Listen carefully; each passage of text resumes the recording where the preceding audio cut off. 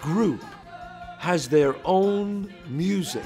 The African Americans have their soul and, and R&B. The Sonny guys have their Frank Sinatra and Dean Martin. The young guys, where we had our doo-wop. So it was almost like cultures crashing, but it was also music clashing with each other. Things like this don't happen. Menken brings heart, brings heart, and he brings uh, uh, a boundless supply of tunes. They just come out of him, and it's really magical. He writes good music.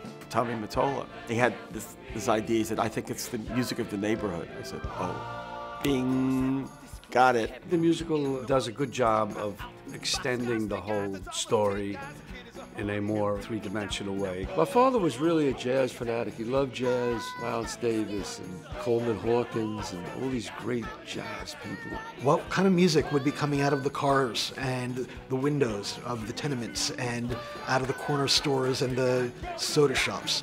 Doo-wop and brill building pop and Motown and funk and everything that was happening during that era, all the styles I love and being able to come out with these riches and write words to it. Uh, it an extraordinary experience. Music elevates everything.